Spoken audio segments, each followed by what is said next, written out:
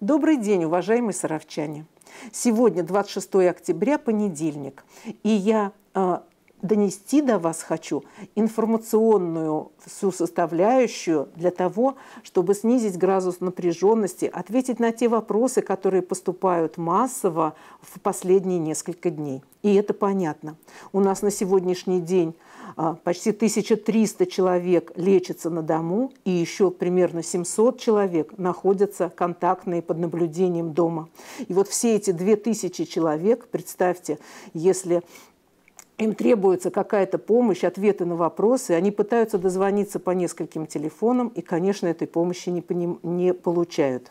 Я хочу сейчас сакцентировать э, и дать вам все направления и все контакты для того, чтобы понять, какие вопросы на каком этапе имеет смысл решать, а о каких вообще не стоит беспокоиться.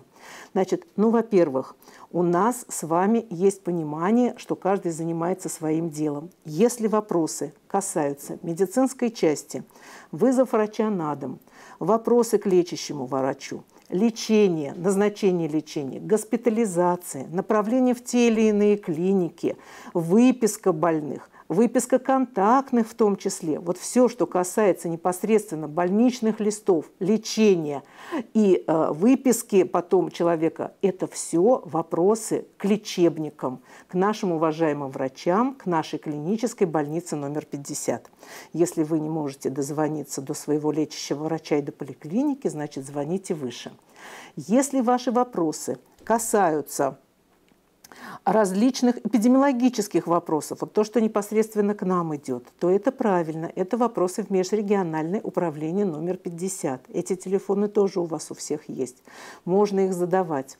И я сейчас буду конкретно уже говорить э, по тем вопросам, э, пройдемся мы с вами по ним.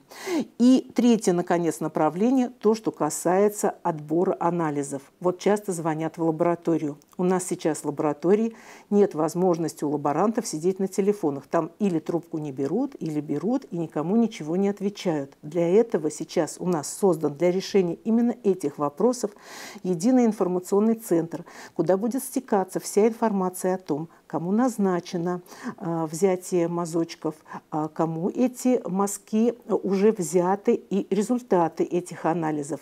И этот центр создан вообще-то не для того, чтобы туда звонили, а для того, чтобы сотрудники там работающие имели в едином месте всю информацию и успевали в течение текущего дня обзванивать тех людей, кто ждет ответов на эти вопросы, каковы результаты их анализов. Это телефоны будут многоканальные, но они не для приема вопросов еще раз, да, а для дачи ответов вам уже, для обзванивания. И, наконец, самое главное, у нас – есть еще горячая линия.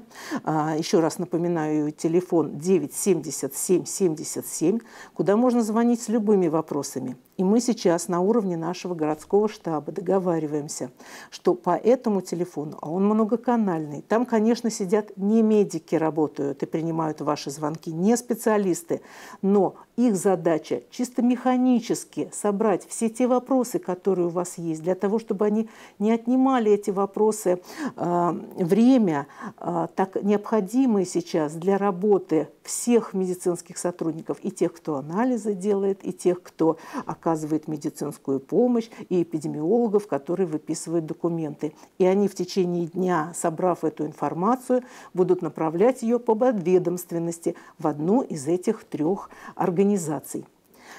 Кроме того, я хочу сориентировать вас на то, что Сейчас, когда такое большое количество э, людей находится у нас на дому, вот э, с точки зрения э, либо оказания медицинской помощи, либо на изоляции по COVID-19, то, конечно, вопросы могут возникать еще и разные. И, конечно, в том числе и не только вы звоните с вопросами, и мы вам звоним с вопросами. И у нас часто бывает недостоверная информация о тех или иных ваших контактных данных, о тех или иных датах, 嗯。Заболевания, выдачи больничного листа.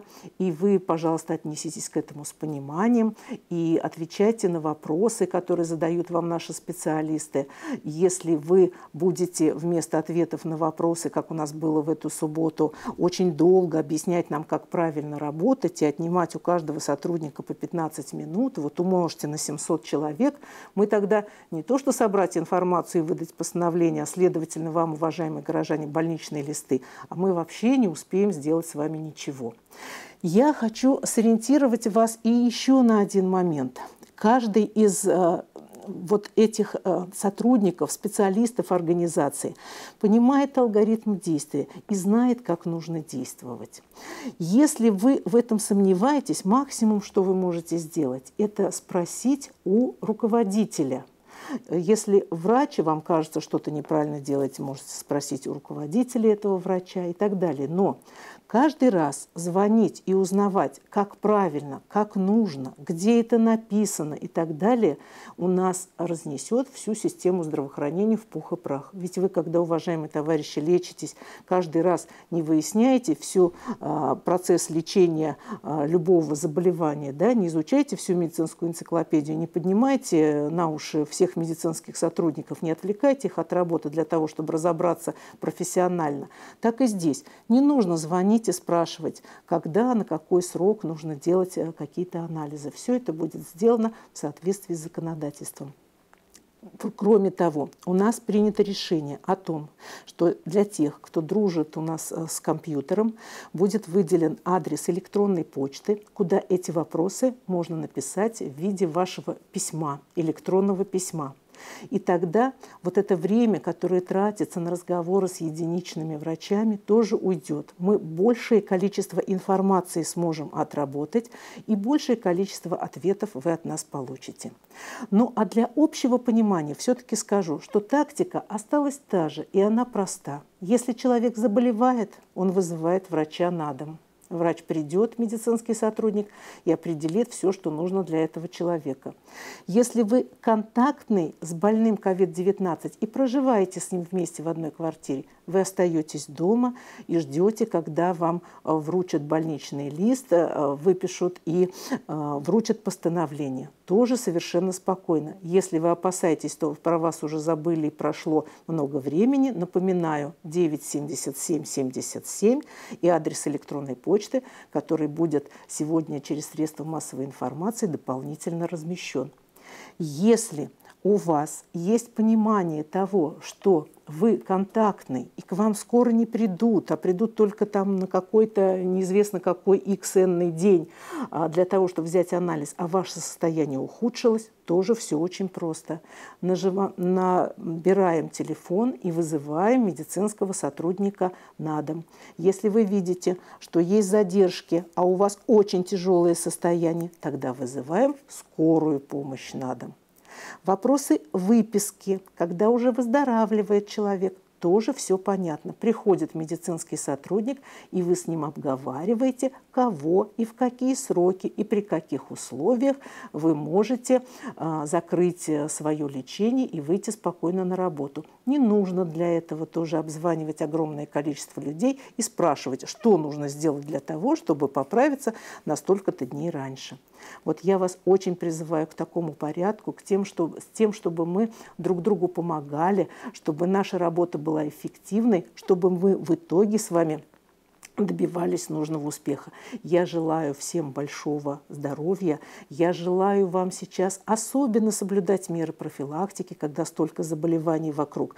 И заболев, не волноваться. Я напоминаю, что у нас огромное количество больных переносит заболевания в легкой форме.